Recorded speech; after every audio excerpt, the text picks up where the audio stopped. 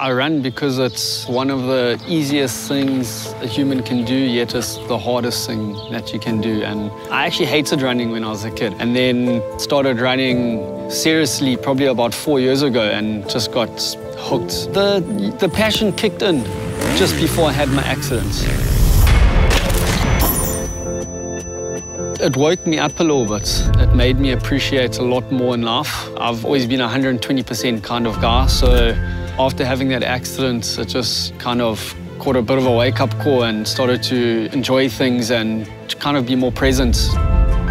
Rejuvenate stands for to start anew or to start afresh. We're giving people a fresh start at life, giving them, you know, opportunities to, to get up and get going again.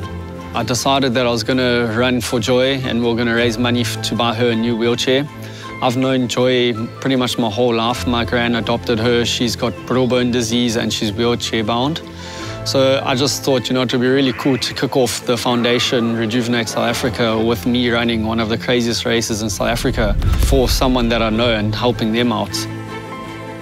There's a massive problem in South Africa. It's just so expensive. The government funding isn't there. Medical aid funding is pretty much non-existent.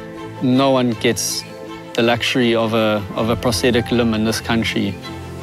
Very few people think they can run again yeah. after they've had an accident. That's why we've been doing the mobility clinics. And a lot of them haven't even run for 10 years since they've had their accident. And then they get on a blade and you just see how their faces light up and how they, their confidence grow. You know, life is quite unfair when you're stuck because your body doesn't allow you to. And there are the tools out there that allow us to, to change this. So I don't see why it shouldn't be a right to move. Everyone should have the right to be able to be mobile.